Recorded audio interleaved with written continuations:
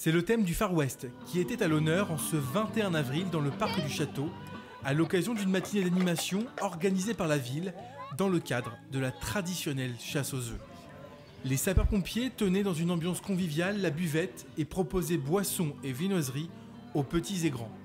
Aussi, de nombreux ateliers ponctuaient le parcours pour les enfants, lancer de cerceau, chamboule-tout, tir à l'arc, il y en avait pour tous les goûts et toutes les envies.